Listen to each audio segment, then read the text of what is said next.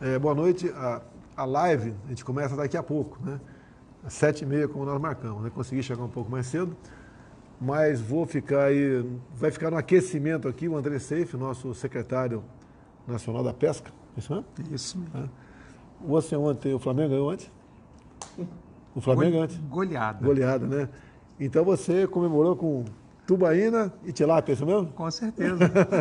então sempre tem muita notícia boa para dar para quem é do ramo da pesca. A pesca tem, com ele na, na, secretaria tem evoluído muito.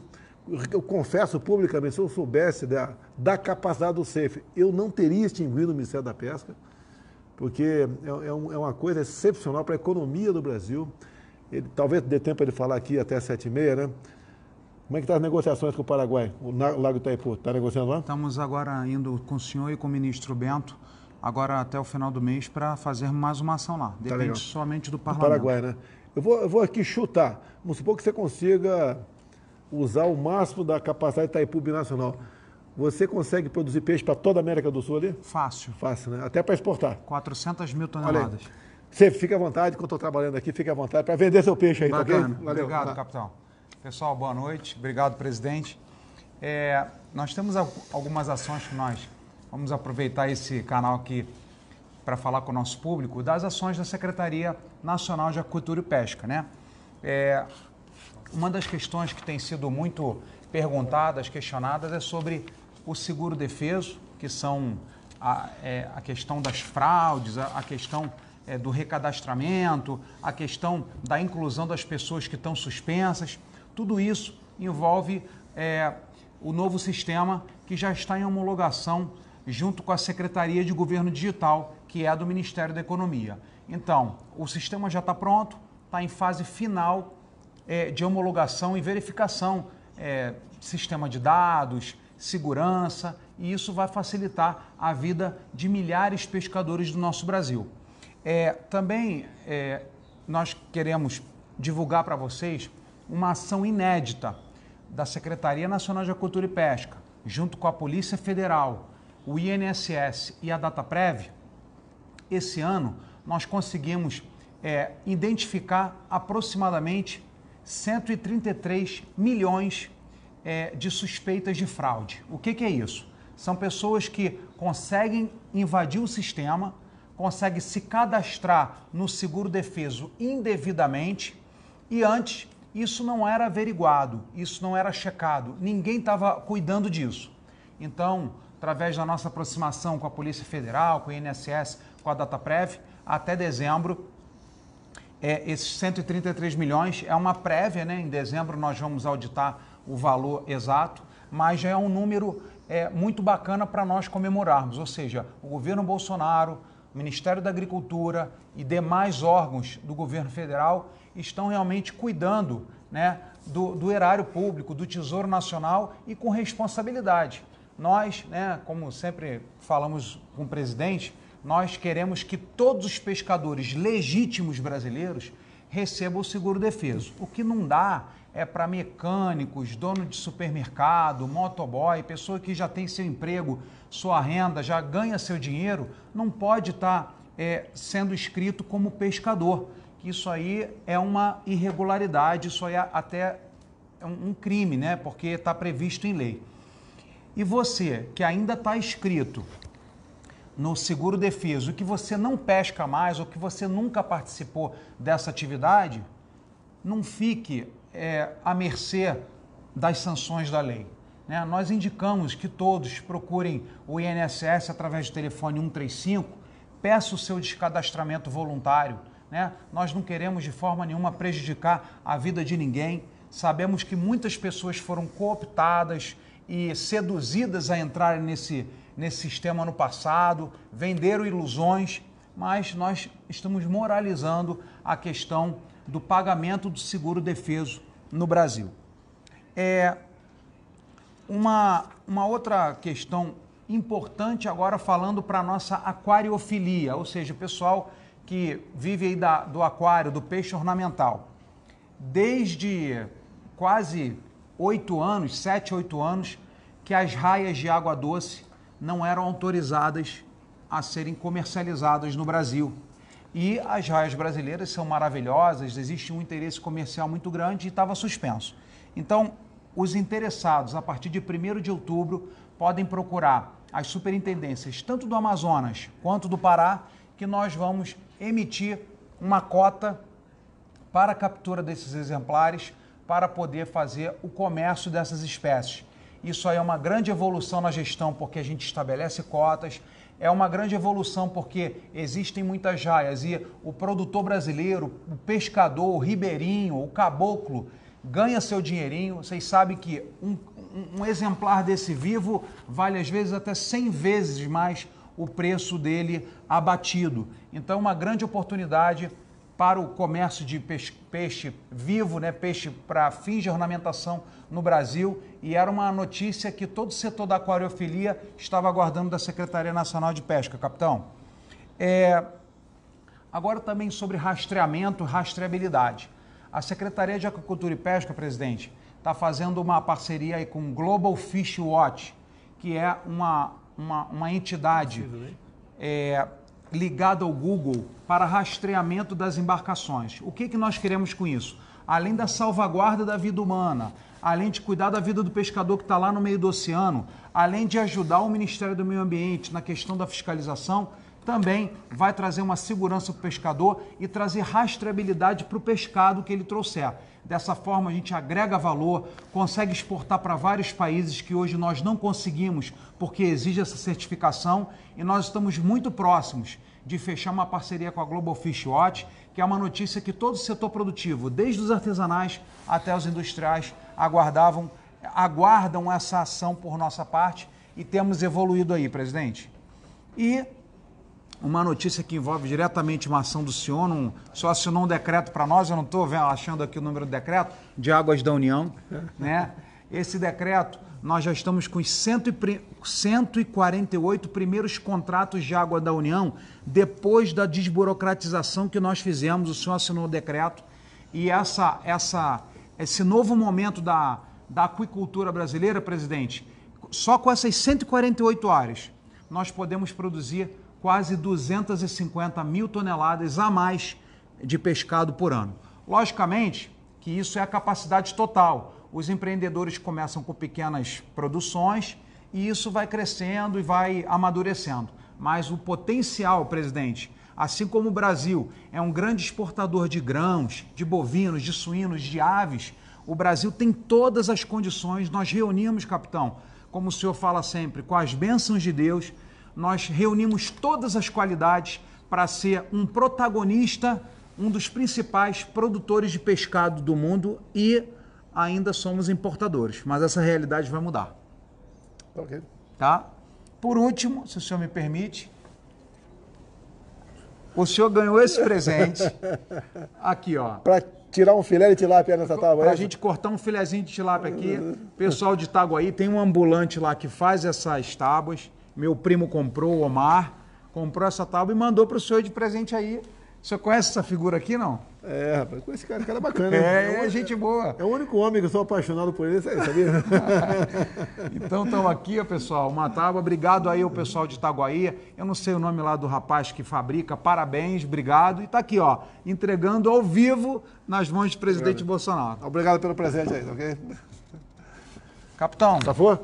Fechou. Posso começar minha live? Por favor. Você estava no, você no aquecimento aí. Maravilha. Você estava no aquecimento aí. Chegou o capitão asfalto, é isso? É capitão asfalto. Capitão, assume aqui o posto, por favor. Tira, desliga aí a live, ele vai asfaltar teu telefone aí. e pelo 2. Obrigado aí, ao Jorge Seife. Obrigado, capitão. Obrigado aí. O Jorge é de uma família tradicional de pescadores lá de Santa Catarina. Eu conheci o pai dele antes das eleições. E ele levou o filhote aí embaixo do braço. Eu fiquei realmente muito impressionado com o conhecimento que ele tinha naquela época sobre a pesca. E daí uma das raras indicações minha, fora de ministério, para a secretaria foi o Jorge Seife aí. Está tá, tá dando conta do recado muito bem. O pessoal vibra muito com ele. Eu não sei o que ele falou aqui, eu estava preocupado com a minha live daqui a pouco, né? Mas eu acho que merecia uma, uma sessão, uma, uma live especial, brevemente, o Jorge Seife aqui. Quem sabe umas perguntas já feitas por antecedência aí com o pessoal do Pingo nos I. o Augusto Nunes, em especial, que é o comandante ali da equipe, porque é uma coisa que nós temos um potencial enorme para crescer no Brasil. Um campo de futebol, por exemplo, uma lâmina d'água de um hectare, produz 10 a 15 toneladas de peixe por ano, é isso mesmo? E pode com Já imaginou? 10 mil, só foi dividir 10 mil quilos por, por 365 dias. Não sei quanto é que dá, quantos quilos de peixe por dia. E outra, e se nesse mesmo hectare for compartilhar tanques, multiplica por 10 a, a produtividade de 100, de 100 toneladas por hectare. De 100, 100 toneladas, não, 100, de 10 toneladas 100 toneladas a, a 150 toneladas, multiplica por 10 aí. Chegou o Tarcísio aqui, ele vai falar alguma coisa sobre a área dele, né? Pode pirar essa área aqui também, Tarcísio, fica à vontade. Tu tem, tu tem uma cara de que é pau de arara acaba da peste, Tarcísio, sabia? você não é nordestino, você não é nordestino camuflado, não? Cearense, cearense camuflado, pode não? Pode ser, pode ser que eu tenha. Pode ser. Você sabe que é, há tempos atrás disseram que eu era de Crateús, né? Ah, porque você é meu parente, pô. Então, parente da primeira dama. Recebo isso aí com muito orgulho. o senhor sabe que só tem cara inteligente lá no Ceará, né? Não, é, eu sei que, olha só, eu, viajei pouco pelo mundo na pré-campanha, né? Uma das passagens foi para Taiwan. E é comum tu encontrar pancada de brasileiro em qualquer lugar. Encontrei, na, encontrei no Japão, né? na Coreia do Sul, uma pancada de brasileiro lá. Mas em Taiwan eu só encontrei um brasileiro. Quando eu olhei para a cabeça dele, eu falei, tu é cearense. E era cearense, cara. Eu não sei por que eu acertei. Mas você sabe que o estado do Brasil que aprova hoje mais alunos para o ITA e para o IME é o Ceará. É, isso parece vendo, vendo uma história de um pessoal do IME mesmo, do ITA, né? Que em sendo da região criaram cursinhos lá. E um cursinho que deu sucesso, um cursinho excepcional. Não sei, se soubesse o nome do cursinho, eu divulgaria aqui sem problema nenhum. Aí eu divulgo. E, e deu... Eles começaram com o Geoíta e depois veio a, a era do, do Farias Brito e do Ari de Sá, que são dois grandes cursos que aprovam pra caramba no ITA e no IME. Eu vou confessar uma coisa aqui, né? A gente tem sucesso na vida também.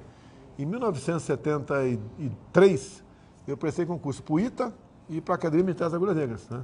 Fui muito mal em física na prova do ITA, reconheço. Se eu tivesse dado mais um ano, talvez dois, teria sido aprovado pelo ITA, tenho certeza disso aí.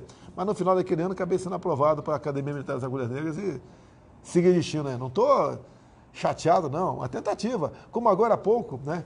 Entrou em, alguns, alguns, alguns garotos entraram em contato comigo, eu já passei para o comandante da aeronáutica, ele já respondeu, ele já respondeu aqui, o comandante Bermudes da aeronáutica, não sei qual é, qual é a resposta dele mas estava sendo coincidente. Cadê o cara da peste moça aí? Ô, Paulo Gerardo, você que passou a mensagem para mim, né? Está sendo coincidente é o concurso para o IME e para a Academia da Força Aérea, não é isso? Exatamente, Então eu liguei para o comandante da, da Aeronáutica, ver se é possível ele entrar em contato com essa outra instituição, né?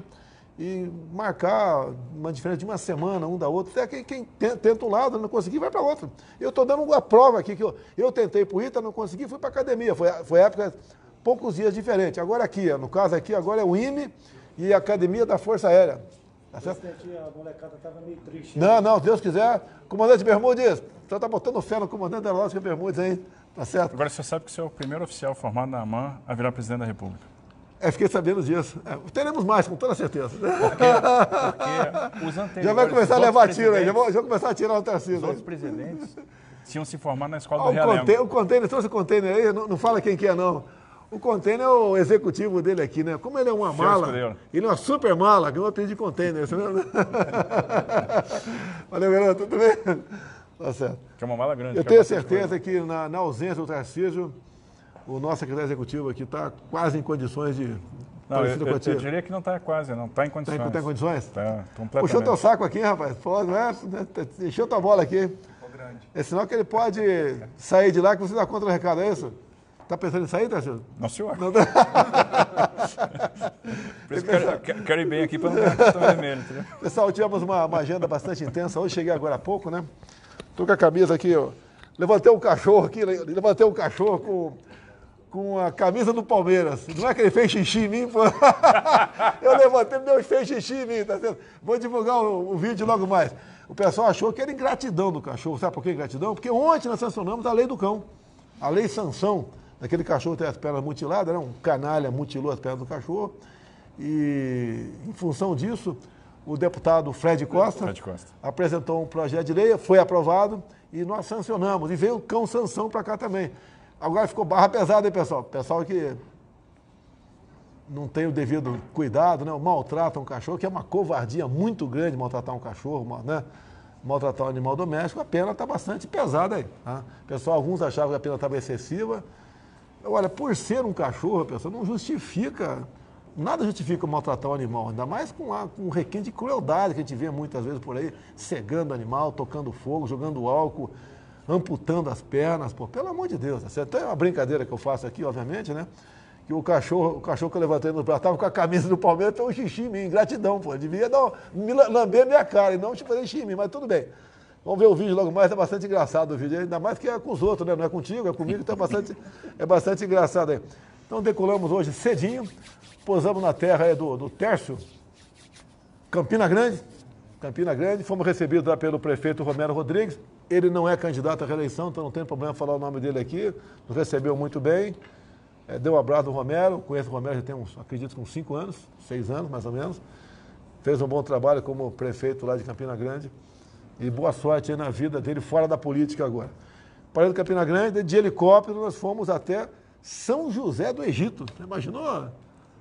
Tá, curioso? Quer conhecer São José do Egito ou não? Quer conhecer um dia? Claro. Lá então inauguramos um, um último trecho né, de um, de um de, um, de uma etapa da, da doutora de Pajeú. Né? A obra não começou comigo, não. Quem quer, alguns querem me criticar logo, né? Eu estou concluindo a obra dos outros. É muito mais barato, até porque não temos dinheiro para começar a obra nova. Você não gostaria de, de asfaltar uma, uma, uma, uma, rodovia de 2 mil quilômetros, né? Gostaria de asfaltar tudo. No asfalto alvorada aqui, não quero lugar, Tarcísio. o mar, o mar. Oh, você, não, você costuma ir muito à praia, não? menos que eu gostaria. Não, não vá na Praia da Barra, não. Na falta da Barra da Barra, não, tá ok? Mas me pediram um campo de, uma pista de, de drone aqui na Alvorada. Foi a Laura que te pediu? Se a Laura pediu, é uma ordem. Ordem, tá certo. Então, esse, esse trecho inaugurado hoje lá atende mais ou menos 100 mil, 100 mil habitantes, ok? Agora, o que é bacana, Tarcísio, você já teve alguns momentos, vou te convidar de novo para ir no Nordeste, né?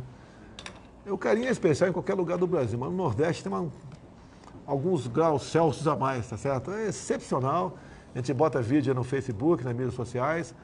É uma coisa excepcional a maneira carinhosa como nos trata, é o carinho que tem para conosco e nós também para com é, todos no Brasil, né? Um pouquinho especial, obviamente, o nosso querido Nordeste lá. Saímos de lá, fomos para Sertânia. Sertânia é uma obra que tem quase um bilhão de reais, que é do nosso governo, mas vem também de governos anteriores, não foi agora isso aí. Tá? Nós estamos ultimando isso aí. E ali, essa, essa nova obra aqui, né, que não está concluída, né, falta um pedacinho para concluir ainda, atenderá 68 cidades. Né? E mais ou menos, nossa, uma coisa terrível aqui, ó, 68 cidades e tudo bem. Esse trecho aqui, ele é composto de duas barragens, tem 220 metros de, 220 metros de desnível, então gasta-se muita energia elétrica para subir o pessoal está bastante avançado o estudo ali para termos alguns sítios, algumas pequenas, algumas chácaras, pequenas fazendinhas ali de placas fotovoltaicas para ajudar, porque isso aí é uma constante, né? Então, durante o dia todo, e aquela região, Gilson, tem sol quase todos os dias do ano, né? Exatamente. Infelizmente, quase todos os dias do ano, né? Mas com a tecnologia vai ser felizmente. Tá, é felizmente, tá certo. Vai, vai valer mais. É, as placas fotovoltaicas, eu tenho estudado um pouquinho sobre elas, cada vez mais elas são mais complexas, é, tem maior produtividade, é, são uma espessura cada vez menor, chega a milímetros, e realmente e tem uma durabilidade maior, se não me engano, está em 30 anos atualmente. 30 anos. 30 anos. 30 então, anos. Com, toda certeza, com toda certeza vão aumentar. E uma coisa que o mundo está terminando, pessoal, falava muito sobre isso, o Marcos Pontes tem investido nessa área, aquela questão de nióbio e grafeno. Tá? A super bateria está tá na eminência de chegar no mercado. Lógico, não vai chegar em uma quantidade ainda que que dê vazão para todo mundo, mas qual a característica da super bateria? Você pega uma bateria normal hoje em dia, se o nego inventar uma carga rápida, ela pode explodir, esquentar e explodir. Né? Essa super bateria de nióbio grafeno, ela aguenta a carga rápida. Alguns poucos minutos, você recarrega toda a bateria do teu carro e enquanto você vai, para num, num, num posto de combustível, vai lá no banheiro, toma um café e volta, você já ganha uma, uma nova autonomia para 500 quilômetros. Você imaginou isso aí? E com a tecnologia chegando, você, com toda certeza, na tua casa vai ter um. Vai ter lá o, o telhado da tua casa com placa fotovoltaica e você. E você, no carro durante o dia, está carregando ali no, na tomada. Então, e aí você começa a ver, né? Para onde vai o petróleo? Qual o futuro do petróleo? Nós tivemos um grande choque do petróleo, dois grandes choques do petróleo nos anos 70. Eu lembro que era garoto, né? E a gasolina era questão, vou chutar hoje em dia, questão de poucos centavos. Né? E depois, com os dois grandes choques, criou-se a OPEP e o, e o preço explodiu. Agora, com essa nova tecnologia, com essa super bateria voltando, né, aparecendo no mercado, o preço vai cair assustadoramente. Até porque isso ajuda a, conter a emissão de CO2, é menos poluição, é uma coisa fantástica. Né? E nós temos no Brasil aqui, é, segundo temos informações, 98% do nióbio do mundo está no Brasil. Certo? E a, a, grande mina de Araxá, tive Araxá, dois anos das eleições. Tá? Não tive em Catalão ainda para ver a mina de lá, se que a mina de lá foi, foi vendida no, há poucos anos. Os chineses compraram a mina de Catalão. E temos também uma grande reserva na região dos Seis Lagos. É, pode ter certeza que nós vamos fazer parceria com outro país, com toda certeza. Agora, não é apenas para explorar o nióbio, né? Vamos agregar valor a esse nióbio. Eu comprei, Tarcísio, contigo no Japão. É, eu comprei uma, uma correntinha, eu não sei se foi mil reais ou mil dólares. Uma correntinha simples, né? Mil dólares. Eu falei, por que, é tão caro? Trouxe a nota fiscal, paguei com dor no coração, né? que dá para você entrar tranquilamente com a correntinha de novo no pescoço. Nem ia perguntar para você, né? Mas eu tinha a correntinha para exatamente poder mostrar. Olha, pessoal, paguei a correntinha aqui mil dólares. Agora você, com 10 correntinhas, você compra uma tonelada de nobre aqui no Brasil. E usa isso para bijuteria. E uma coisa que eu não sabia, Tarcísio, olha só, hein? O cara, quando é muito né, ganancioso por dinheiro, tem que ficar ligado. Tem gente que tem alergia a ouro. Essa correntinha de nobre não não tem. É, é, não... Hã? Hipoalergênico. Como é que é o negócio aí? Hipoalergênico. Caramba, depois que você me ensinou a falar carnicicultura, qualquer outra coisa fica fácil de falar aí. Talvez diz que come peixe é inteligente, né? Talvez por causa disso que o Jorge aí, o secretário da pesca, está falando difícil aqui. Bem, na volta, como nós estamos fazendo sempre, né? A gente para num, num lugar, num lugar, né? Escolhe um lugar qualquer, dá uma parada é, de forma inopinada, imprevista. E paramos agora, olha só, paramos em Queimadas. É Pernambuco, Queimadas? Paraíba. Para, já, para, não, Queimadas é Paraíba? Paraíba. Tem certeza? Certeza. Paramos em Queimadas. E, logicamente, ninguém esperava a gente lá. Fui lá, tomei uma Coca-Cola lá, de, aquela de garrafa é muito boa, né? Eu, eu não, Coca-Cola podia ser Pepsi também, tá, pessoal? Mas tomei Coca-Cola. Podia ser tubaína. Podia ser uma tubaína também, bem lembrado aí, bem lembrado aí, tá certo? E depois fomos na sorveteria, uma, uma, uma menina lá levou na sorveteria, é, patrocinamos a sorveteria, a melhor sorveteria da Paraíba, pô, essa foi uma festa maravilhosa, muito contato com a população, vale a pena você entrar no Facebook nosso e, e assistir esse, como a população nos trata nesses locais, tá certo? Então estou muito feliz com essas viagens e elas vão continuar, se Deus quiser. Havia uma expectativa, nós parávamos em Santa Cruz do Capi, Capibaribe, é isso mesmo? Isso mesmo. Capibaribe. É o polo de confecção da América Latina. Tá. Eu vi os vídeos do Gilson, o Gilson da Sanfona aqui, ó, do grupo Brucelose aqui, ó, o nosso secretário do que? Turismo, né? Embratur. Do Embratur, né? É que tu vive viajando por aí, eu pensei que fosse turismo. Pô. Tá certo? É, mostrou o vídeo, o pessoal estava esperando na praça, peço desculpas, mas quando nós fomos ali, nós passamos ali por Sertânia, é, como era quando paramos ali já em, em, Campina Grande, já era avião, né? Então não dá para parar na praça de avião. Se fosse de helicóptero, deve estar dada a segunda parada. Mas está previsto a gente voltar na meados do ano que vem, vamos inaugurar uma outra etapa lá grande lá da, da Transposição São Francisco. Gilson Missão, bota ali para a gente dar uma paradinha na, lá em Santa Cruz do Capibaribe. Tarcísio, pouquinho de ferrovia, Tarcísio? Vamos lá. Que, qual é a grande notícia sobre ferrovia? A grande notícia é que essa semana saiu a licença de instalação da Ferrovia de Integração do Centro-Oeste. A FIOL? Então, a, fi, a FICO. A FICO. A FICO. a FICO. Então a gente vai ligar o Vale do Araguaia no Mato Grosso à Ferrovia Norte-Sul. Essa licença de instalação saiu essa semana e significa o seguinte: como a gente assina o contrato em novembro, ano que vem tem obra. Nós vamos fazer uma nova ferrovia, uma ferrovia que não existe, que vai ligar lá Água Boa, no estado do Mato Grosso, até a Ferrovia Norte-Sul. Então vamos investir lá mais 4 bi em ferrovia, né? Então a gente está chegando, caminhando bem, a gente está contratando quase 30 bi aí, presidente. Vamos lá, eu tive contigo assinando aquele contrato para terminar a ferrovia Norte-Sul. Norte Sul, né? Faltava 1.500 quilômetros, é isso? Era, sai lá do Maranhão, passa Tocantins, Goiás e morre aqui no Porto de Santos, São Paulo. A previsão é antecipar um pouquinho a entrega dessa, dessa, dessa da ferrovia? É, a gente em abril vai estar com ela operacional funcionando. Agora tem uma surpresa aí. Pode É? ser que antes disso a gente já vem, já, já consiga ver aí o primeiro trem com container empilhado já operando. É um container duplo em cima Container do outro, né? duplo. O double stack. Qual, qual é a bitola dessa, dessa ferrovia, das ferrovias aí? 1,6 metros. 1,60. 1,60. É o que a gente chama de bitola No larga. passado nós tínhamos 90 centímetros, 1,20, é isso? Nós tínhamos a bitola métrica de 1 metro e a bitola larga de 1,60. A gente está. Todas as ferrovias que nós estamos construindo, construindo 1,60. agora, 1,60. É dar mais estabilidade, né? Mais estabilidade, desenvolve uma Com toda velocidade certeza, mais maior. durabilidade, mais segurança. E dá para você botar o container duplo aí. Vai ajudar isso qual que? Especial o que? Grão?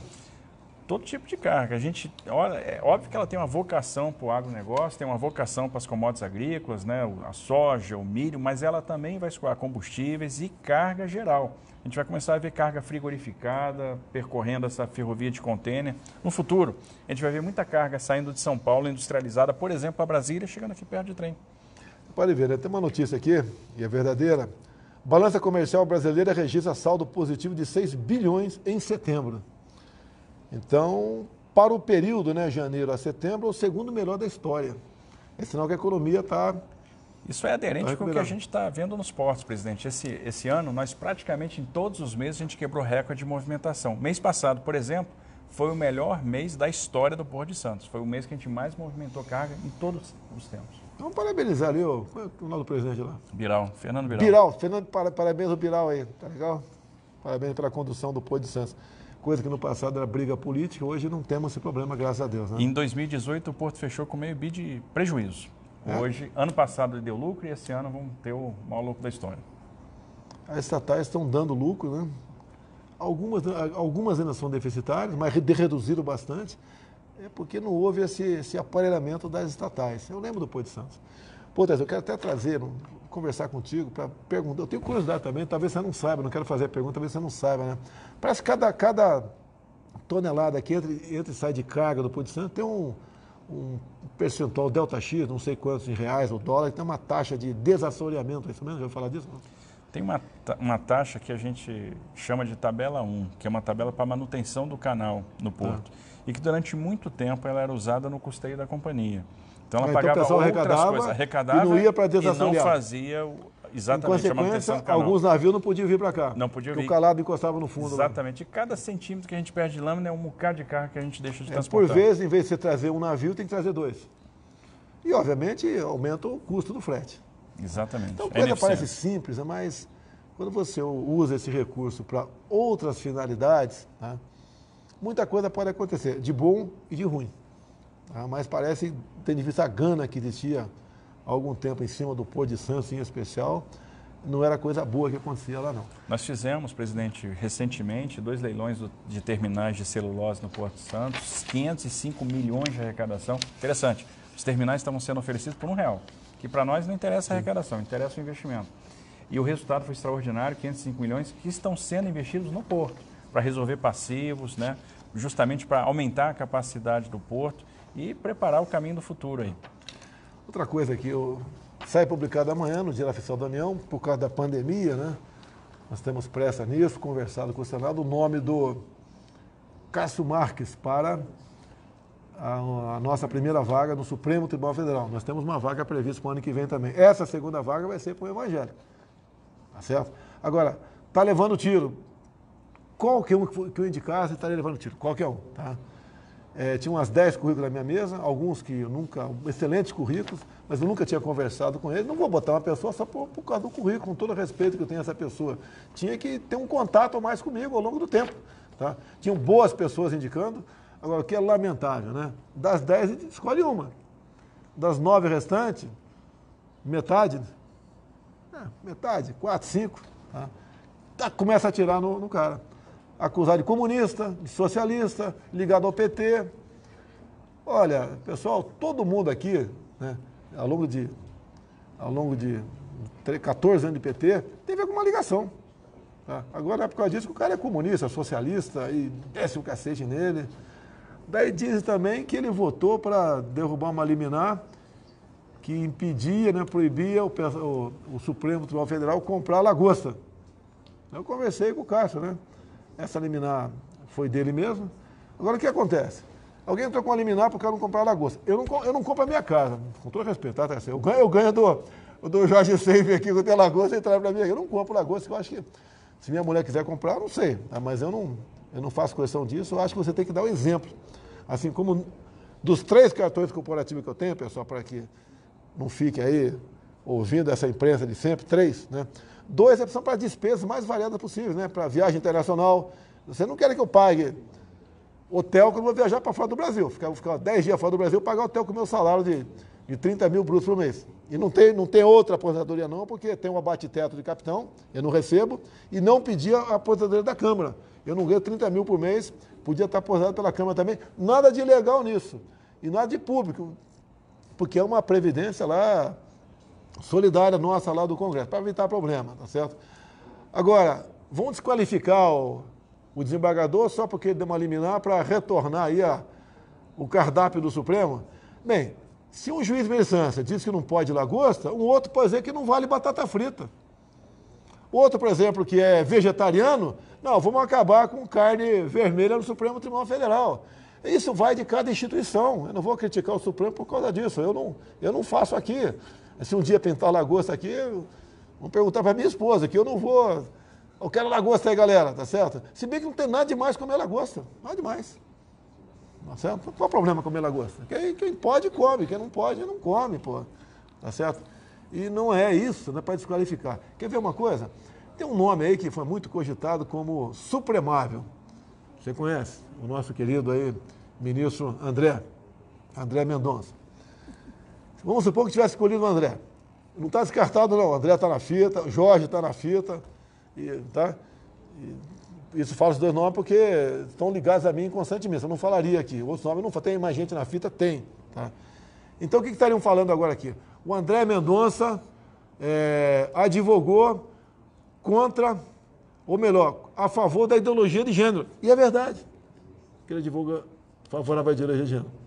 É verdade, em parte. Vou explicar para você agora aqui. Né? O que aconteceu? Se não me engano, Maringá, é a prefeitura de São Paulo aí, o de Felipe Barros, deputado federal brilhante da cidade, está sempre conversando comigo, enfinando um almoço comigo. A cidade aprovou um projeto de lei, virou lei, é, proibindo então a ideologia de gênero. Eu bati palmas. Não, parabéns. Mas alguém entrou com uma ação direta de consolidade e foi para o Supremo. E da hora ali, quando tem essas ações, o advogado geral da União, que ele era AGU na época, o André, ele foi lá. E disse que a DIN estava certo, tinha que ser derrubada a lei da ideologia de gênero, que, proibia a ideologia de gênero. Mas por que isso aí? Ele não advoga nem contra nem a favor da ideologia de gênero. Ele advogou ali naquele momento contra a iniciativa. Ele advogou contra a iniciativa do município legislar sobre educação. Que caso contrário, iam ter centenas de municípios pelo Brasil aprovando a ideologia de gênero. Daí ele ia falar o que lá no, no, próximo, no próximo adinho? Olha, é a minha posição. Ele não defende a posição dele, ele defende a posição que ele tem que defender, levando-se contra a constitucionalidade do assunto. Então o André estaria apanhando uma hora dessa aqui sem motivo, como apanhou muito na época. Eu fiz uma notinha, falei, olha, não tem nada a ver. O André é um pastor, é um evangélico, é um cara tem um conhecimento enorme, um cara excepcional. E ele advogou ali contra a iniciativa do município legislar sobre isso. Que se tivesse ganho, por exemplo, ali, o André defendendo, tivesse ganho, ó, o município aí de do Paraná e de Maringá. Maringá, tá legal, aí não tem ideologia de gênero. Daí no lado vizinho, vamos supor ali, Cascavel, vamos supor Cascavel. Vamos supor que lá tivesse aprovado um projeto impondo ideologia de gênero na escola. Tinha que ensinar para a criançada, ô Joãozinho, você não é Joãozinho não, você é Maria, você pode ser Maria também. Você não tem sexo, né? Quando você tiver 14, 15, 16 anos, você define a tua vida. Você teria que engolir isso. E nós sabemos que tem prefeitos aí que apoiam as medidas nesse sentido. E geralmente o prefeito tem uma dominância sobre a Câmara Municipal. Então o André fez a coisa certa. E agora aqui, por exemplo, aqui o, o desembargador Cássio, né? Apanha por questão do cardápio. Tá? Outra questão sobre Batisti, mandei, ver, mandei dar uma olhada aqui, viu o que aconteceu. Qual foi a participação dele? Agora pessoal bota aqui, fala palavrões e julga as pessoas. E gente séria, gente encaminhou o currículo para mim, para o candidato dele, né? Ele escreve lá embaixo essas, essas, essas besteiras. E essas pessoas já foram discriminadas no passado. Certo? É impressionante como se julgam as pessoas e esculhambam com as pessoas de uma hora para outra, sem, sem comprovação de nada. Agora, vamos supor o caso Batisti. Então, logo tome conhecimento, né? Ele está pesquisando, é, porque ele deu milhares de sentenças na vida dele. Qual foi a participação dele nesse caso? Se bem que quem decidiu o Batisti ficar no Brasil foi o Supremo Tribunal Federal. Não foi ninguém de. Não foi ninguém do TRF1, né, de justiça nenhuma, foi o Supremo Tribunal Federal. Mais alguma crítica sobre o caso ou não? Ah, fala que ele é desarmamentista. Mas não tem nada a ver. Tá? Conversado com ele, conheço ele já há algum tempo, já tomou muita tubaína comigo. Tá certo? A questão de família, ele é católico, tá? é família, tá? E você tem certeza que vocês vão gostar do trabalho dele no Supremo Tribunal Federal. E mais ainda, eu vi uma notinha aqui hoje, até, até que eu olhei e falei, não é que o cara tinha razão, pô? Quem indica para o Supremo não sou eu. Quem indica é o, é o Senado Federal. Eu dou meu eu encaminho, por exemplo, aqui, eu pego, eu pego por exemplo, aqui o, o nosso prezado ministro aqui do transporte, aqui, o Tarcísio. Eu indiquei o Tarcísio para o Supremo. Chega lá, chega no Senado, eles podem não gostar do Tarcísio. Não, esse cara aqui não interessa por tal motivo. E o nome dele é rejeitado. Vocês lembram há pouco tempo? Olha, presta atenção aqui. Você que está me assistindo aí, que está duvidando de mim ainda, presta atenção. O ano passado todo, até mais ou menos abril desse ano, vocês queriam quem para o Supremo? E me acusavam. Vocês queriam o Sérgio Moro para o Supremo, não era isso? Vocês não queriam o Sérgio Moro para o Supremo? E me ameaçavam no Facebook o tempo todo. Se não for o Sérgio Moro para o Supremo, acabou. Acabou, acabou. Tá? Bem, agora, você quer que eu troque o Castro pelo Sérgio Moro? E daí? E daí? O famoso e daí? Quer que eu faça o quê? E daí? Quer que eu faça o quê? Responda aí. Vocês querem o Sérgio Moro para o Supremo? Você acha que vai ser o ministro lá que vai ser leal às nossas causas? Será que vai ser aprovado no Senado Federal? Quer falar alguma coisa, Tarcísio? Não. A questão de amizade é uma coisa importante, né? É, o convívio da gente, né? Eu vou indicar o ano que vem, é, um, primeiro pré-requisito, tem que ser evangélico, né? terrivelmente evangélico. Outro, tem que tomar tubaína comigo. Pô. Não adianta chegar um currículo aqui agora, aqui, maravilhoso, 10. 10 o currículo, né? Indicado aí por autoridades, autoridades, 10. Mas você não conheceu, eu não conheceu, eu não vou indicar. O meu compromisso é com um evangélico. Você é evangélico? De confiança. Você é evangélico? Eu sou católico. Você é católico? De, de filho de mãe Você é evangélica. algum evangélico aqui? Eu? Virou evangélico? Aí, Hélio? Olha lá, Hélio. Por Confiança que é evangélico? Porque eu tenho um tremendo respeito né, por mais de 30 milhões, mais de 30% do evangelho no Brasil. Eu acho que temos que ter uma pessoa lá dentro. Quando no passado falava que tinha que ter um negro, tinha que ter uma mulher, ninguém falava nada. Quando eu falo que tem que ter um evangélico, mas não é só porque é evangélico, ele tem que ter conhecimento de causa também. Ele tem que transitar em Brasília. Ele tem que conhecer gente do Supremo, conhecer o parlamento. Eu quero botar uma pessoa lá, não é para votar certas coisas e perder por 10 a 1 tudo. Ah, eu votei contra. Não, eu quero que essa pessoa vote de acordo com as suas convicções, de acordo com o interesse aí da, da- dos conservadores, tá mas que busque maneira de ganhar alguma coisa lá também. Não adianta você chega lá, chega lá, mude e sai calado. é, Sim, não, sim, não. Não, eu quero que ele converse. É, outro dia, naquela, naquela, naquela sessão secreta, que foi o, o ar aqui, né? Que não, dependesse de nós, não, não teria sido mostrado, né? Trouxe dor de cabeça pra gente. É, fizeram um vídeo de 30 segundos, né? Os melhores momentos. Tinham 29 palavrões meus, 29 palavrões. Você recebeu algum palavrão lá, Darcy? Não, né? Não, não. Não. Enquanto você estiver asfaltando tudo por aí, você não- não tem problema não, tá? Tá certo. E, mas ali naquela, naquela, naquela sessão, vale a pena ver de novo quem não viu, que muita coisa aconteceu ali. Eu falei, olha, tem gente no- na esfera dos poderes aqui em Brasília que não sabe o que é feijão com arroz, não sabe o que é sentir o povo, né? Sentir o bafo do povo na rua, tá certo? Dar um abraço, tomar uma Coca-Cola, tomar um picolé, é, levar um beijo babado a ver na cara. Levei uma xixizada em cachorro hoje, pô. cachorro ingrato. Estão dizendo porque ele estava com a camisa do Palmeiras, pô. Felipe, eu vou reclamar pro Felipe Melo aqui. Vou ligar o Felipe Melo e reclamar depois ali, tá certo? Então, pessoal, é, essa pessoa que quero botar lá é uma pessoa que leve esse tipo de conversa com os ministros. Não estou acusando o ministro lá, não conhecer o povo, não, nada, nada disso. Mas que converse isso aí. O Supremo vai decidir o marco temporal. Não basta apenas o advogado-geral da União agora, que é o Levi, ir lá e fazer uma tremenda defesa com palavras bonitas, que é uma pessoa extremamente é, educada e culta, o Levi. Eu me apaixonei por Levi eteramente nos primeiros momentos que eu ouvi. Então até que ele surpreendeu, né? Quando mandei o André para a justiça, né? Eu falei, André, quem é o teu, quem é teu reserva aí? Não, eu tenho reserva lá, mas conversamos, descobrimos que o Levi estava na PGFN, Procuradoria Geral da Fazenda Nacional, e que era dos quadros. Daí chamei o, chamei o Levi, bati um papo com ele rapidamente. Levi, quer ser ministro? Ele se assustou, pô. Que geralmente isso aí. Você vai contar como é que foi teu, é o teu casamento também, né? Foi um negócio, é, é um negócio que é muito discutido, com muita gente, não sei o quê, com, com partidos, com, com outros ministros, aqui lá. E foi na hora, pô. E está dando muito certo. A pessoa excepcional está fazendo a minha defesa, né? no caso aí da, da, da, suposta interferência junto ao Supremo Tribunal, junto à Polícia, à Polícia Federal. Alguns reclamam, né? Tem que ser mais decisivo, tem que dar pancada. Não, o trabalho não é dar pancada. Quem dá pancada é o general Fernando, pô. Tá certo? Não é ele, o Fernando é defesa, não é ele, tá certo? Se eu botar o Fernando para me defender, daí vai ter, vai ter tiro, pô, tá? Então ele tem que defender dessa maneira, pô. E nós somos civilizados aqui, ninguém vai partir para agressão, nem nada. Como é que foi a tua escolha? Tu lembra?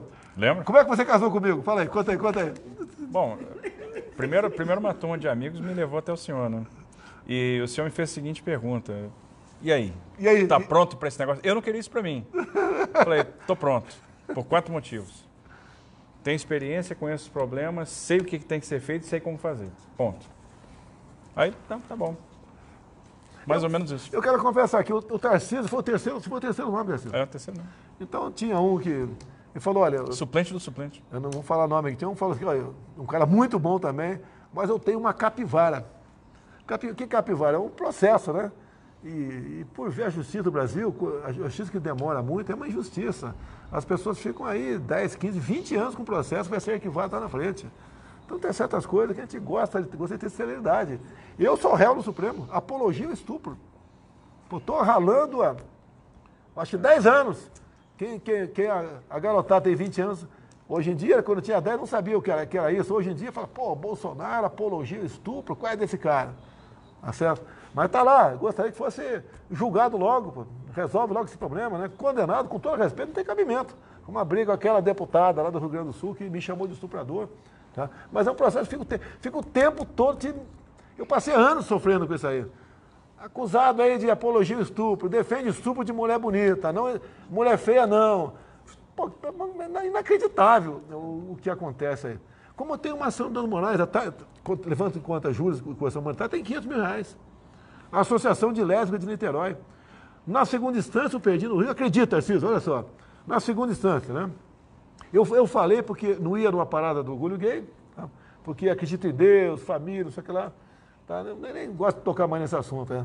E daí essa associação de lésbicas falou que ofendia a família de homossexuais, tá certo? Na segunda instância, o relator pediu arquivamento, o Ministério Público pediu arquivamento e eu perdi por 3 a 2 tá? no STJ. Está em 500 mil. Quer dizer, se eu perder essa ação um dia, tá certo? Eu não sei como é que eu vou pagar. Eu vou ter que vender alguma coisa ali, ou sacrificar o que eu tenho na poupança. Eu devo ter mais ou menos a minha poupança aí? Mas tudo bem, vamos tocar o barco aí. Eleições, né? Por que, que eu falei que não, não pretendo entrar em eleições municipais no corrente ano, no tocante a prefeituras, né? A não ser que haja uma excepcionalidade, para evitar problema. São Paulo tem meu candidato, você já sabe. O José Maria falou na, falou na Jovem Pan aí que nós sabemos que é fulano de tal, tá certo? Eu tenho uma candidata também, um gordinho lá em Belo Horizonte, um gordinho, já falei para ele, se ele se eleger prefeito, ele vai emagrecer, porque ele vai ver que a barra é pesada, mas tem esse gordinho tem competência para desembocar a prefeitura. Sabemos lá que o atual prefeito está muito bem, tá certo? E quem vai escolher é o povo de Minas Gerais. Tem um excelente candidato também, um, em Santos, não vou falar o nome de ninguém aqui, gosto muito dele, tá certo?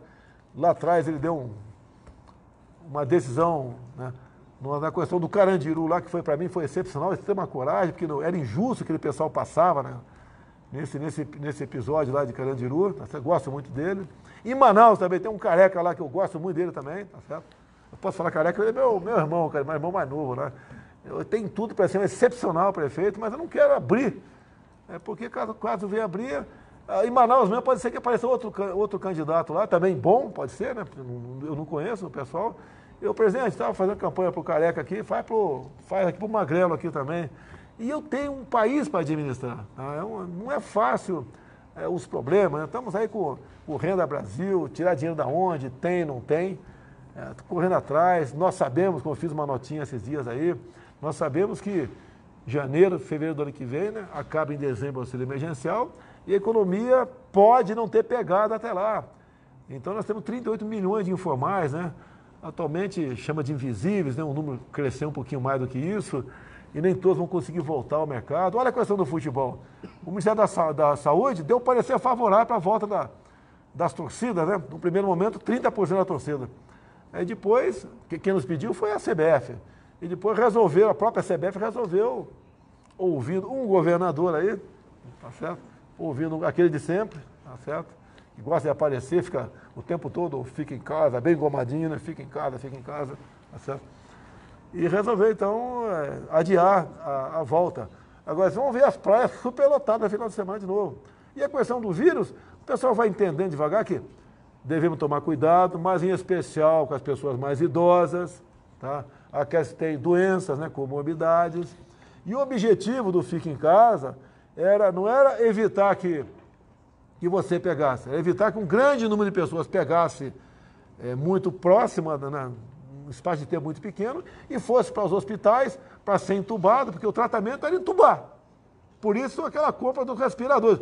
Por isso, né, aquelas compras, né, vão pagar 200 mil por respirador, porque justifica, não tem licitação, estamos em calamidade pública, e o pessoal meteu a, até, o, até o sovaco na jaca, né, e está com problema por aí, está com problema por aí.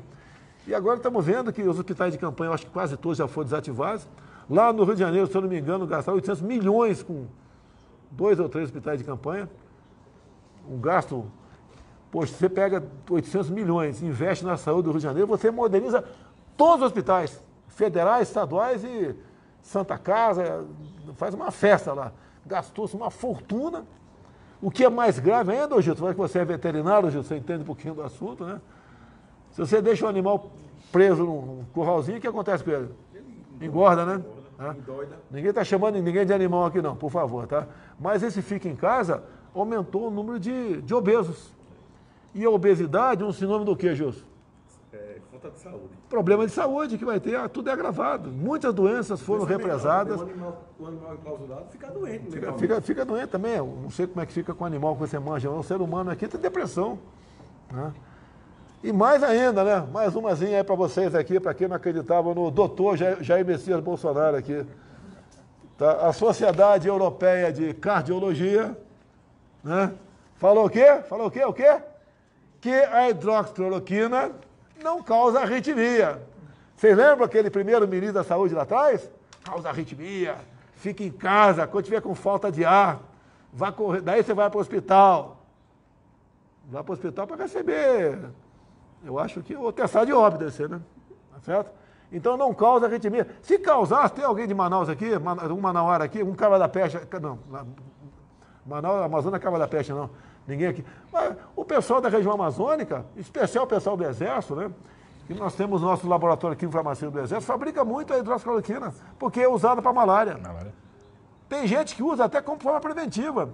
Tá? Pessoal nosso do Brasil, quando vai para missões aí na África, já teve no passado, o cara leva, o, leva lá o, a cartela da hidroxicloroquina no bolso. Você já tomou hidroxicloroquina? Não. E se pegar o vírus? Vou tomar. Ah, mas quem é o médico? Sou eu? Não, vou procurar um médico. E se o médico falar que eu não dou, eu troco aqui, você vai fazer o quê? Vai dar. Eu procuro outro. Ah, bom, ah, bom. é, o meu médico não titubeou quando eu tive o sintoma na hora. Alguns falam que eu tomei e depois pedi a receita, não é verdade. Tá certo? Não é verdade, tá certo? Eu dei a receita, fui para a cara dele, daí. Quer voltar para a tropa? Ele falou, não, então... então quer ir para Niuac, Cocide? Eu estou fazendo um pacotão aqui, o Moza, que é o primeiro sargento, é, primeiro tenente, vai, vai tirar o oficial de dia, que nunca tirou, né? Primeiro tenente que é a O, o Cid comandando, e o médico aqui da, da presidência para Niuac. Com todo respeito, Niuac mora no meu coração, pô, vi três anos maravilhosos lá em Niuac, 79, 80, 81, tá? Muita guavira, a carne lá era mais ou menos um terço do preço no resto do Brasil, né? E tinha churrasco todo dia, impressionante. Você tinha que falar, hoje, não, hoje eu não quero churrasco, é baratíssimo. E com mandioca. Eu só não me acostumei muito com o tal do tereré. Sabe o que é tereré? É aquele tipo é, chimarrão. É o chimarrão. O chimarrão do gaúcho é aquele chimarrão de cabra da macho, né? O gaúcho macho. Pega uma cuia ali. Né? O tereré é geladinho, mais devagar um pouquinho. Pessoal costuma tomar logo depois do almoço para dar uma torada. No, não sei como é que é no Paraguai, né? Morei na, na que é quase divisa do Paraguai, era considerada guarnição especial de primeira categoria, né? E quando tinha, a gente, todo mês a tenentada ali, juntava com a sargentada também, a gente fazia um comboio, ia, ia ficar um dia todo ali, ou em Bela Vista, ou em Ponta Porã, né? Pedro Juan Cavaleiro, é comprar umas moambinhas ali, gastar um dinheirinho e voltar. Agora é impressionante, ali de no Paraguai, de meio-dia às duas da tarde, fecha o comércio, o pessoal toma um tereré lá e vai dormir, pô. Não sei se continua assim ainda. Estou para falar com o Marito, ele quer falar comigo, para do Paraguai. É, já sei qual é o assunto, da minha parte está safo. Nós vamos reabrir aqui a ponte da amizade. Além da ponte da amizade, o que está acontecendo também lá? Segunda ponte de Foz está 40% executada.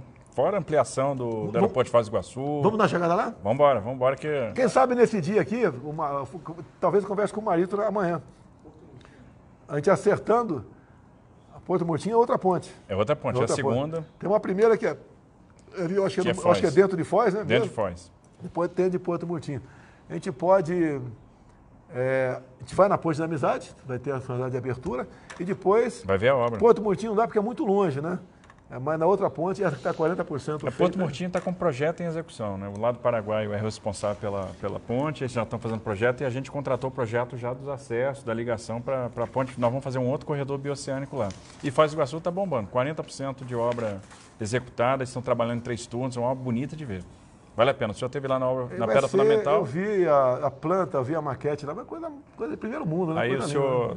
O senhor vai ver a obra e daqui Olha, a pouco... pessoal, vamos lá. O Tarcísio falou que o Porto de Santos está dando lucro, né? Hum. Qual recurso está fazendo essa ponte com o Paraguai? Quem sabe aí? Sabe, Tarcísio? Itaipu Nacional. Itaipu Nacional. Quem é o diretor da parte brasileira? Nosso general Civiluna. General Civiluna, que foi ministro da Defesa do Temer. O Temer, inclusive, me plagiou, né? Antes de ser presidente. Que eu falava que ia botar, eu falava, vou botar um quarto com ministro da Defesa. O Temer pegou e. Eu acho que ele me ouviu falando. Até eu quero agradecer, o Temer fez, cumpriu de forma excepcional me desculpa, Temer, aquela missão lá no Líbano, né? Você foi nos representar lá, é, depois daquele, daquele lamentável incidente, né? Daquela explosão lá no porto, que matou algumas pessoas, desalojou muitas outras, mutilou outras, uma coisa terrível.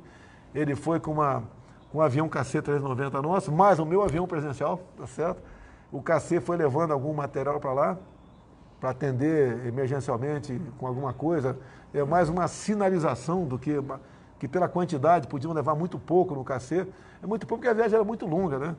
E daí, em vez de você usar, se não me engano, 23 toneladas de carga, você tem menos porque você vai ter que encher com combustível para poder romper o Atlântico. O Michel Temer fez uma. representou muitíssimo bem lá, sou grato ao presidente Michel Temer.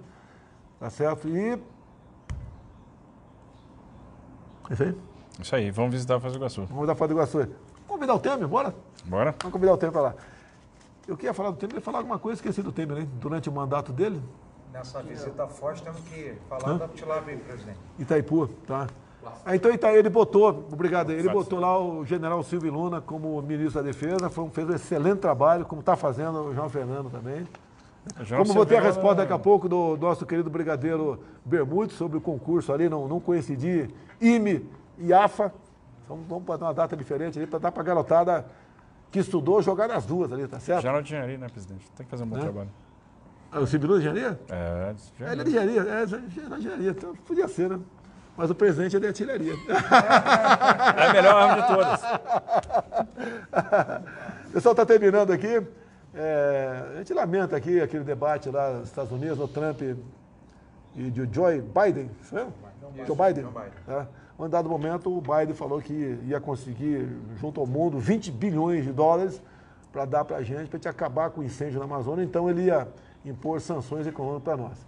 Gente lamenta porque, depois de anos de uma certa animosidade, né, de não, de uma de um trabalho de Itamaraty é, não muito profícuo, tá certo? O pessoal de esquerda sempre acusando os Estados Unidos dos problemas internos nossos aqui do Brasil. Nós restabelecemos essa diplomacia em sua plenitude tá? com o Trump. Logicamente, a pandemia atrasou outros projetos que tínhamos com o governo americano aqui no Brasil, tá certo? E também, né, é, nós tivemos, além, da, além da pandemia, e eleições agora lá nos Estados Unidos. Então, o Biden, não sei se para ganhar voto, Agora eu vi, já hoje vi um vídeo num, num comentário sobre os números que ele falava na, no debate, não batia coisa com coisa, falava os absurdos, tá certo? E ele querendo aí, o Biden parece que né, querer romper, para romper até o relacionamento com o Brasil por causa da Amazônia. Sabemos que alguns países do mundo têm interesse na Amazônia e nós temos que fazer o quê? É, dissuadir-nos disso. E como é que você faz a dissuasão disso? É ter umas forças armadas preparadas. Mas as nossas Forças Armadas foram sucateadas ao longo dos últimos 20 anos. Parece que a intenção era humilhar os militares para que um projeto socialista pudesse ser mais fácil de ser implementado no futuro, não atingir o seu objetivo, apesar do sucateamento das Forças Armadas. Tá certo? E nós começamos a recuperar isso aí, mas não é fácil. Forças Armadas custa dinheiro, mas eu entendo que Forças Armadas é investimento. Então estamos fazendo o possível. Ano passado não foi contingenciado nenhum recurso para as Forças Armadas. A parte da mira de esquerda, né, ou melhor, toda a mira de esquerda é, critica o tempo todo, até a defesa vai gastar mais que a educação. É o tempo todo essas, essas, essas besteiras. Pô. Não interessa se vai gastar mais, se vai gastar menos. Pô. Ela tem que atingir seu objetivo. Porque se um dia algum país, né, uma potência, resolver fazer uma besteira aqui no Brasil, você vai fazer o quê? Vai fazer o quê? Vai ficar quieto, né? E daí? E daí? Você vai fazer o quê? Aí meter o rabo no meio das pernas, pô, tá certo? E nós temos que tratar a questão das Forças Armadas com carinho, não é porque, ah, porque o cara é capitão. Pô, o Tarcísio também é capitão, pô. Ele não está asfaltando nada de verde, de, de, de, de verde oliva a estrada dele, está asfaltando com asfalto preto, aí está fazendo a parte dele. Agora, se tiver alguém melhor que o Tarcísio, pode vir aqui se apresentar, que eu troco o Tarcísio agora. Como no começo da, da transição, Tarcísio, eu tinha escolhido o Paulo Guedes, né? Aí chegou um cara, um gordinho lá para mim, né? No acordo aí nós temos três ministérios. Eu falei, acordo com quem? Comigo. Mas eu te dou três ministérios. O primeiro é da economia. Traz teu cara aqui, bota o Paulo Guedes aqui, vamos trocar uma ideia aqui, vocês dois, fazer um debate aqui só nós três. Se você for melhor, troca agora. O cara não gostou. Eu não citei você, que eu te conhecia naquela época ainda, né? Mas se tem outro nome, se for melhor, troca agora, sem problema nenhum. O que eu quero é que bote alguém no ministério que me tire problema da cabeça. Eu não sou o cara que tem que saber de infraestrutura. É você, pô. Você que, tá, você que rala. Se bem que está esquisito, eu sou mais, tô mais mal que você, né? Eu acho que eu estou ralando mais que você, tá sendo? Você não acha não, Tarcísio? Isso vai mudar. Não, isso vai mudar. Eu vou cobrar. Terminando aqui, parabenizar aqui a ministra Tereza Cristina, juntamente com a nossa Pedro Pedro Guimarães, da Caixa Econômica Federal, é, lançamos aqui um novo um plano, né, um projeto, para beneficiar o pessoal da reforma agrária. Foram, então aproximadamente 300 e pelo quanto, meu Deus do céu. Nós estamos atendendo a 10 mil famílias do campo. Tá? É, um, é um, um acesso a um crédito habitacional. Tá? Para construir casa, ser 34 mil, ou para reformá-la, metade desse valor aqui. Okay? O dinheiro é diretamente no cartão do beneficiário, não tem intermediário, faz o acerto para lá receber. E nós vamos atender 10 mil famílias, se não me engano, 340, está aqui, mas se não me engano, 340 milhões de reais. Então, é, é o Minha Casa Minha Vida, né, de, de antigamente, que já tinha para o campo, mas não era implementado. Então está sendo implementado para o campo aí. Tem pergunta aí, Cílio? Mas o pessoal da, da Jovem Pan tá. o Augusto Nunes está trabalhando. Voltou a trabalhar? Está tá de férias, não? Sim, senhor. Voltou. Até que enfim, Augusto Nunes. Fiquei sabendo que pegou três meses de férias, é isso mesmo? Sai da frente aí, o, o, o Vuduzinho. Tem o Vuduzinho na frente aqui. Facebook 24 mil, YouTube 17 mil, é o nosso aí, né? Depois tem Pingo no Zia, do Augusto Nunes, 65 mil. Jovem Panil, 17 mil. Pô, nós temos que passar aí o, o- a turma do Augusto Nunes, pessoal. Agora, quando acabar aqui, vai lá na Jovem Pan, que os comentários lá são realmente com muita, é, com muita responsabilidade. E de vez em quando a gente erra também, há uma, uma crítica da parte deles. 10, eu quero ser criticado, sim. Tá? Mas a crítica é com responsabilidade. Não é como a grande parte da mídia faz, né? Você erra uma palavra aqui, é a brincadeira do cachorro que eu fiz, já vão falar com maldade, né? Cachorro urinou no presidente, falar um montão de maldade aí, não é? Vamos lá. Pronto aí, Cílio? Augusto Nunes. Augusto Nunes, fala Augusto. Boa noite, presidente. Boa noite, ministro Tarcísio. Ministro, eu queria saber ah, quais são as principais obras físicas programadas para 2021. É de- até difícil responder, Augusto. Porque Um boa são- noite aí, um abraço para você, mas é porque é obra pra caramba. né? Então, eu vou até começar é, dizendo que a- amanhã a gente vai estar indo para o norte, vamos lá visitar a ponte do Abunã, já vendo como é que está e preparando o terreno para a inauguração que a gente deve fazer lá em dezembro, presidente. Aquela ponte que os Uhum. Qual rio motoqueiros... que é? Xingu? Não. É o Rio Madeira. Rio Madeira. Né? Mas é uma ponte importante, é no estado de Rondônia, mas é importante sobretudo para o Acre. Não, quando a gente for para lá, você vai falar alguma coisa da ponte do Rio Xingu também, é isso? Xingu a gente vai dar ordem de serviço ainda esse ano aí, vamos contratar. O- os caminhoneiros, habitantes da- da- das duas cidades ali do lado, fizeram uma- uma- um comunicado para nós. Eu falei, "Tar- Tarcísio, dá para resolver.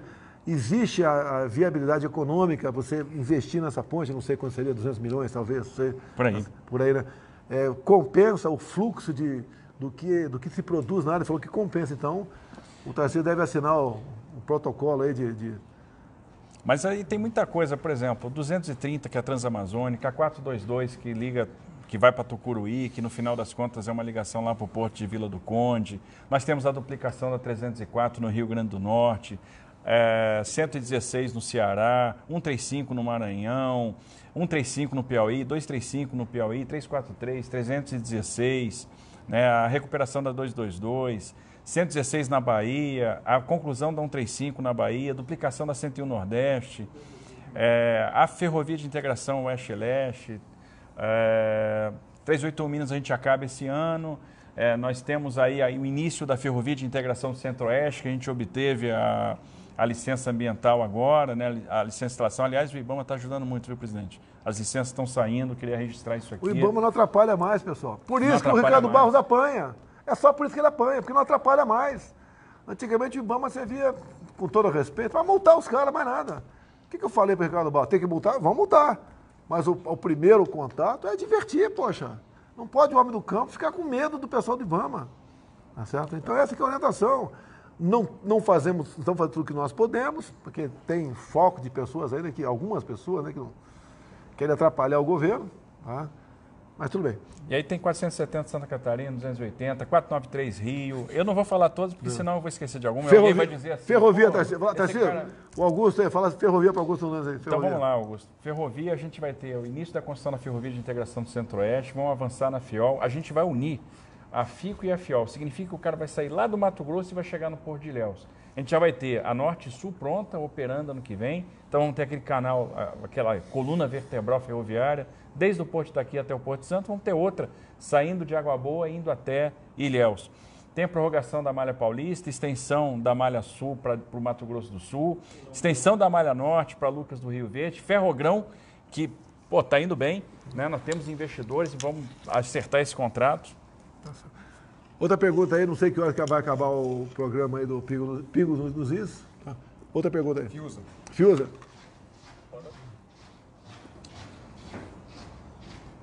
Cara chato, hein? Boa noite, ministro Tarcísio.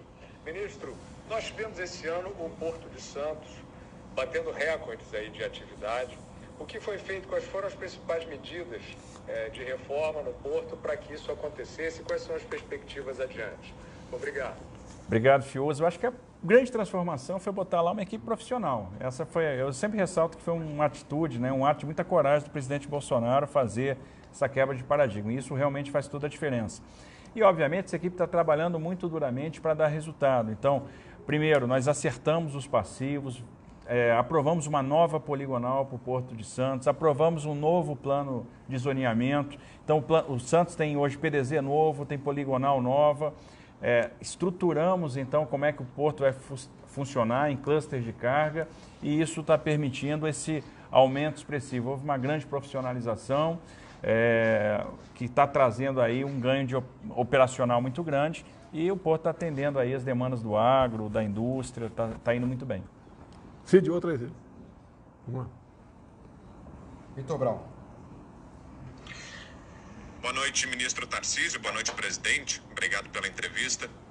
Ministro, nas últimas semanas subiram muito os preços dos materiais de construção. O próprio ministro da Economia, Paulo Guedes, já explicou que não se trata da volta da inflação, que é uma alta pontual que foi provocada pela liberação do auxílio emergencial e com dinheiro no bolso as pessoas procuraram mais alimentos e materiais de construção e por isso os preços desses itens acabaram subindo. Mas de qualquer maneira, diante disso, diante desse aumento de preços dos materiais de construção, é possível que haja uma demora ou um, encarecimento de obras que estejam em andamento, ministro? Obrigado, boa noite, boa noite, presidente. Não, não, não vamos ter demora e, e, na verdade, nada diferente do que a gente já faz todos os anos. Há, há, há algum aumento pontual de alguns produtos, alguns materiais de construção e a queda de preço de outros. No final das contas, isso tem previsão já contratual. Todo ano, no aniversário dos contratos, a gente faz uma análise é, de como as famílias de materiais de construção se comportaram e a gente faz os ajustes, né? o reajuste contratual é uma coisa devida, prevista na legislação.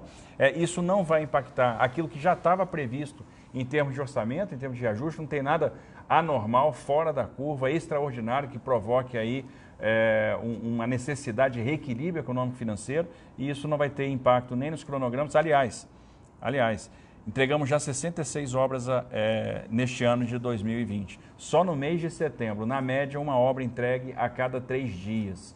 Então, os cronômetros estão andando muito bem. DENIT já está virando um bi por mês de produção. Uma curiosidade aqui, é o Vitor Brown? É o Vitor Brown. Vitor Brown. Uma curiosidade aqui. Uma dessas viagens minhas, eu percebi umas casas lá com tijolo e um cimento, né? Salpicado de cimento. Eu comecei a conversar com o pessoal. Resumindo, tinha casa ali que moravam cinco pessoas dentro, todos adultos. Tá? Tinha uma renda baixíssima, né? E quando veio o auxílio emergencial, cada um passou a ganhar 600 reais. Então aquela casa pobre, de pau a pique, né? 3 mil reais. Uma parte desse dinheiro, o pessoal comprou tijolo e comprou telha, tá? tirou o zinco e botou uma telha para não esquentar tanto em casa durante o, o sol. E, em consequência, esse material faltou no mercado. No Nordeste, está conversando hoje, o pessoal do Nordeste foi comigo lá, o senador Fernando Bezerra, vários deputados, vários deputados federais, tá certo? É, eles falaram para mim que não tem mais material de, de, construção no Nordeste. O pessoal mais humilde, com esse dinheiro que entrou, tá? É, a família entrou 1.200, 1.800, né? Cinco, um múltiplo de 600 qualquer, e acabou investindo nessa área para o seu conforto, para ter mais tranquilidade em casa, né? mais segurança até. Então aí sim, fugiu, acabou o material. A questão de arroz. Hoje que nós paramos ali, eu não sei se foi em queimada, né? Paguei missão para um cara da peste lá, pô, vai lá dentro, tá no meu telefone aqui, fotografa ali o saco de 5 quilos de arroz. Tá? E nós, tá, fotografou, eu olhei por alto e vou agora, amanhã dar uma estudada nos preços lá de, de queimadas, né? É, com aqui de Brasília até. O que aconteceu? Quando dá uma notícia, vamos supor que eu fale aqui agora, que vai faltar café, vamos supor, vai faltar café. O que, eu falando, né? Imagina a repercussão que vai dar. O que, que vai acontecer? Todo mundo vai comprar café, vai agora no supermercado comprar café, daí vai, vai faltar café, vai sumir café, vai sumir café. O que acontece com o preço? Vai subir. Tá? Em parte, né? Faltou arroz? Sim, faltou arroz, não, não tanto assim, mas a corrida ao supermercado fez subir o preço. O que, que nós fomos obrigados a fazer? Ouvindo, obviamente, a Tereza Cristina. Eu não tomo nenhuma decisão sem conversar com o respectivo ministro. Resolveu importar 400 mil toneladas de arroz. Eu acho que vem dos Estados Unidos.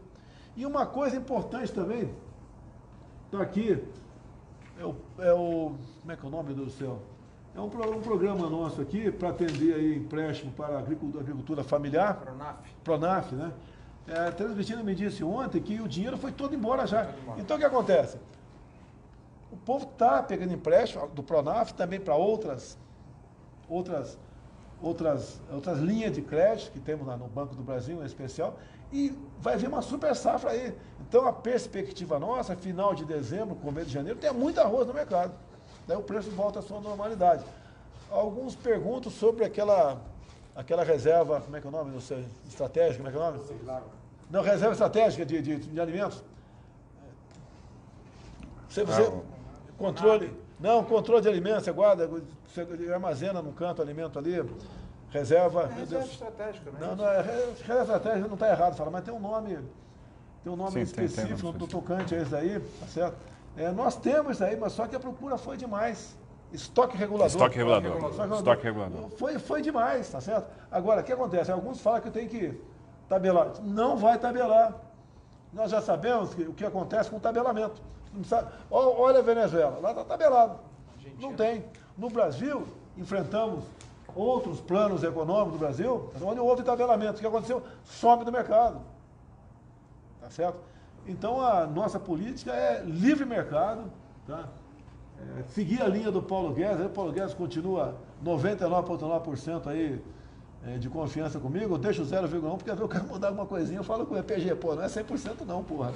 É 0,1% é meu, pô, qual é, pô? Você quer tudo pra você, pô? Você tá muito goloso, pô.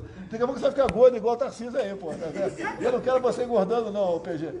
Então ele é o cara da política econômica, tá certo? E a palavra final é dele, ponto final. Tem mais aí? José Maria Trindade. Zé Maria. Pois não, muito boa noite, presidente Jair Bolsonaro, boa noite, ministro Tarcísio. Ministro, o senhor é um dos mais citados, inclusive no Congresso Nacional, como símbolo aqui na esplanada de competência e de solução de problemas e tal. Como é que o senhor está lidando com o Congresso Nacional, com deputados e senadores que sempre tiveram aí esta área com- como fetiche, como um, um interesse muito grande de investimento. Tal. Como é que o senhor está lidando com o Congresso Nacional nesse setor de investimentos e obras? Ô, José Maria, obrigado pela pergunta, com muito respeito, né? No final das contas, os interesses são convergentes. Eles querem levar a política pública para os seus estados. É, a gente quer também fazer a mesma coisa, a gente quer que as obras aconteçam. Então, a gente, eles trazem as demandas, trazem um senso de urgência e trazem os recursos, porque eles estão botando emendas, eles estão nos ajudando bastante com emendas para que a gente leve as obras para a ponta da linha. Essas duas últimas semanas foram semanas onde a gente fez reunião com todos os coordenadores de bancadas do Brasil, com todos os estados, justamente para combinar como que vai ser a alocação de emendas para a área de infraestrutura, onde é que a gente precisa mais e como é que a gente vai fazer eh, essas obras, o que, que a gente tem perspectiva de entregar. Então a, relação está acontecendo de uma forma muito republicana, muito correta, muito bacana. A gente está sentindo muito profissionalismo aí eh, das bancadas e, e tentando até trazer isso para a alocação do orçamento. É, no passado, Zé Maria, você sabe disso, a emenda não era impositiva. Então o que, que o presidente fazia com a tua equipe, né? Ficava olhando o parlamentar. Ah, você quer que eu libere a tua emenda? Não precisava liberar. Quer que eu libere? Então você tem que votar isso comigo. Seja bom ou seja ruim. Não interessa. Se não votar, não tem emenda para você. Mudou isso. né? Agora emenda impositiva. Eu votei favorável como deputado pela emenda impositiva. Nós somos obrigados a liberar o recurso. Você pode até postergar um pouquinho, pagar os 48 do segundo tempo, mas tem que pagar. Agora, como disse aqui o Tarcísio, é impressionante, acredite se quiser, a responsabilidade da grande maioria dos parlamentares ao escolher um local para apresentar, para apresentar a sua emenda. É coisa útil realmente. Tem parlamentar que junta 3, 4, 5 deputados daquele estado para fazer uma obra na, no- na sua região. Isso é excepcional, isso é fe- fenomenal. Isso nunca existiu no, no- no Brasil. Era uma, era uma briga de, de, de- de queda de braço, né? Eu tive anos, Zé Maria, como deputado federal, que não apresentava, ele podia apresentar X, né? 10 milhões de emendas. Eu não apresentava nada, porque eu sabia que não ia liberar, eu não vou perder meu tempo. Tá? E muitas vezes se fazia besteira com essas emendas no passado. Hoje em dia, se tiver, é umas exceções né, que pode estar acontecendo lá. Né? Mas realmente a responsabilidade é muito grande para os parlamentares e a gente fica feliz, né? E o pessoal, os deputados elogiam o Tarcísio. Vai, vai eu falar que vou mandar embora o Tarcísio aqui. Eu tô maluco, vão, me, vão me crucificar, pô. Vão me crucificar. Tá certo? É mais fácil eu, eu pedir demissão e botar o Morão no meu lugar aí, pô. E daí, o que tu acha aí? Você não quer ter um general como presidente, não? O- o- o- não tá- eu prefiro os capitães. Não tá inteligente aí, não. Mais uma pergunta, não? Sim, senhor. Saideira? Saideira, Ana Paula Henkel. Ah, Ana Paula é a primeira vez a perguntar pra gente, não? Sim, senhor. Ela está no programa agora. Olha lá, Ana Paula, olha a responsabilidade, Ana Paula, com a pergunta aí. Vamos lá. Boa noite, presidente. Boa noite, ministro Tarcísio. Ah, ministro, o senhor vê algum comprometimento na, nas, nos acordos em relação à infraestrutura no Brasil com os americanos? O senhor que esteve recentemente numa produtiva reunião em Nova York com investidores, o senhor vê algum comprometimento no caso de vitória do candidato democrata Joe Biden? Olha, é, no final das contas, o que, que a gente percebe? Né? É, Um senso de pragmatismo muito grande do investidor.